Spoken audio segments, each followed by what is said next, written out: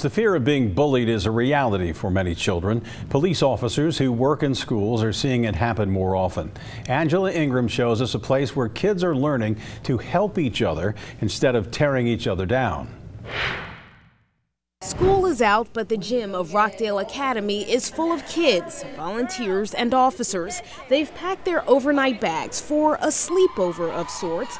It's an anti bullying retreat for girls. It's important to just have the girls spend time together as opposed to going to like a conference, a one day conference, and you know, never seeing each other again or not spending time with each other. I think it's very important. And we, it takes time to kind of break down some of the walls that these girls have had to build up. It's a partnership between a nonprofit called Small Voices Count and the Cincinnati Police Department. CPD brought in therapy horses for the kids, and there are games designed to foster friendships. I'm excited about it, just watching the girls uh, come together and form a camaraderie uh, where uh, they're already connecting.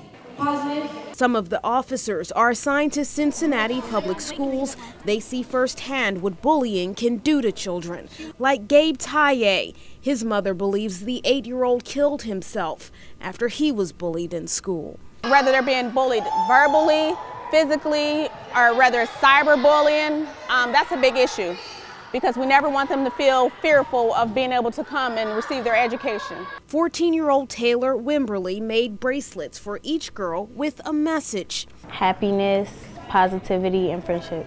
She wants the girls to have a gift that symbolizes why they came out. Let me see your bracelet. Though myself has never been bullied, but I have had close friends that have, and I saw how much that hurt them and what that put them through.